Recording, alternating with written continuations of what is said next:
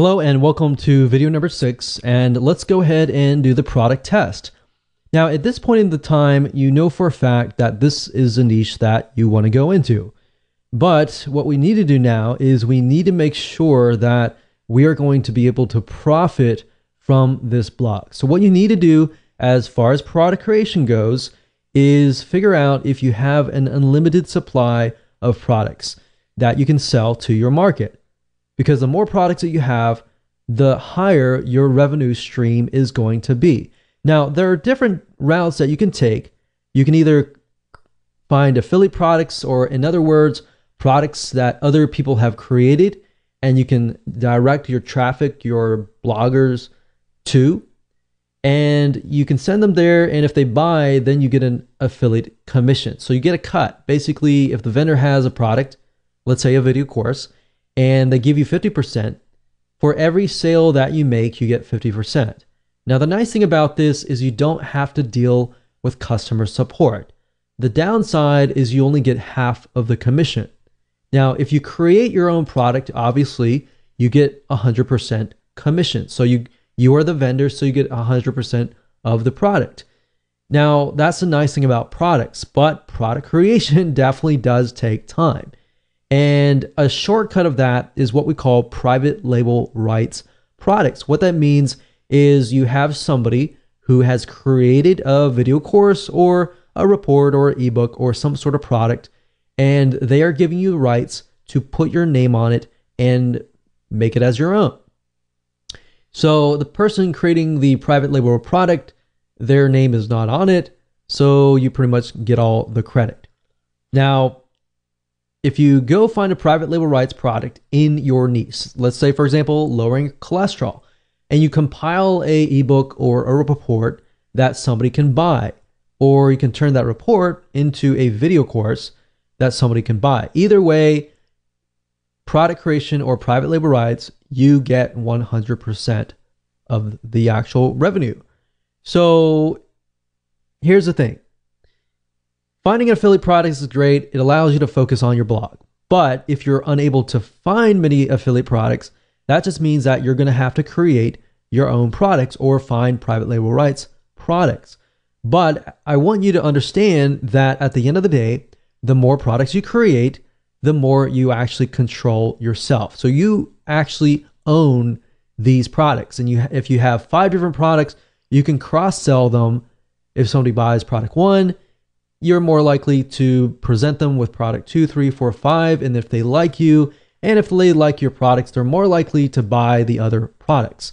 And that's the beauty of this is you can pretty much do however you wish if you own the product. So what I want to do now is just head on over to Google. I'm going to show you real quick how to find products that you can sell if it's affiliate product or if you want a private label rights shortcut. So this is going to be a quick and easy exercise. Simply go to google.com and then of course in the search box type in private label rights and then place the next word to be your niche. So in this case if that's lower cholesterol, let's see what we get. So you're going to see PLR or private label rights. You can do a search for PLR as well. Same thing, same acronym. And you can see that you know, this is 349. It's 30 days to lower cholesterol, PLR ebook, and you want to make sure that you you see what's inside the ebook. Now, I can't say for everything. Some ebooks are created with tons and tons of high quality, and some are created and they're not really good quality. So you really have to pick and choose. I mean, it's not really expensive. So in the end, at the end of the day, you can look at it, and if it's great, if it needs to be rewritten, you can hire an article writer to do a total rewrite of it. Or another thing you can do is you can head on over to upwork.com or fiverr.com, which is F I V E R R.com, and find somebody to turn these articles into videos, which is something that most people don't do, but that's an extra step that you can take that really adds a lot more value.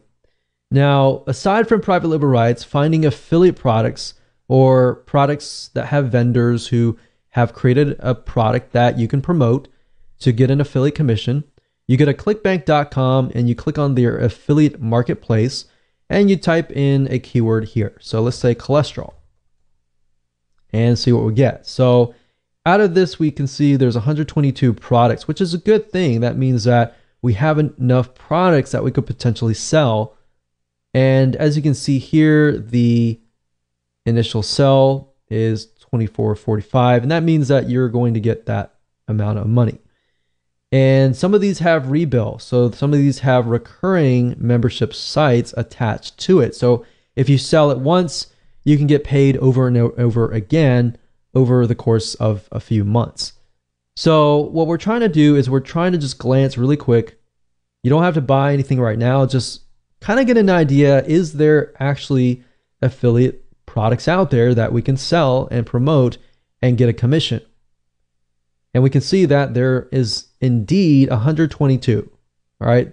So another thing you can do is you can go to Google and we can say lower cholesterol or just cholesterol affiliate program and see what kind of affiliate programs are out there for products that are helping people lower cholesterol.